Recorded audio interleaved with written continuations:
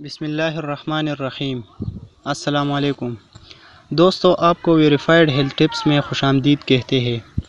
آج ہم آپ کو ایک زبردست ٹوٹکا بتاتے ہیں کہ کس طرح ایک لاغر انسان اپنے آپ کو صحت مند بنا سکتا ہے۔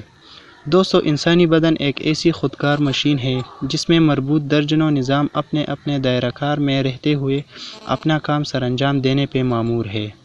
یوں جب کسی ایک نظام میں خرابی کا اظہار ہوتا ہے، تو اس کے ساتھ جڑے کئی دیگر نظام بھی متاثر ہوتے ہیں۔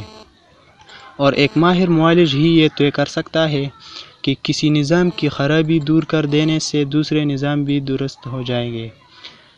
ایسے تمام افراد جو دبلی پتلی جسامت کے مالک ہیں اور مناسب ڈیل ڈول کے خواہاں ہے بطور غذا گرم مزاج والی غذاؤں سے پرہیز کرے۔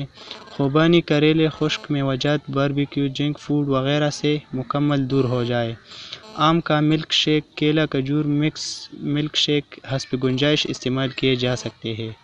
کھجور اور کیرا مناسب تناسب میں کھانا بھی وزن بڑھانے اور صحت مندی کے لیے بہترین ہے کچی سبزیاں قدرتی مشروبات، دہی، کیلا، پپیتا، آلو، بخارا گیا کدو، گیا توری، حلوہ، کدو اور انار بکثرت اپنی روزمرہ خوراک میں شامل کرے۔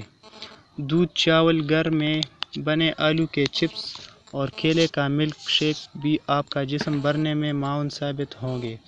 روزانہ ہلکی پھلکی ورزش ضرور کیا کرے اور جو کا دلیہ بھی لازمی کھایا کرے۔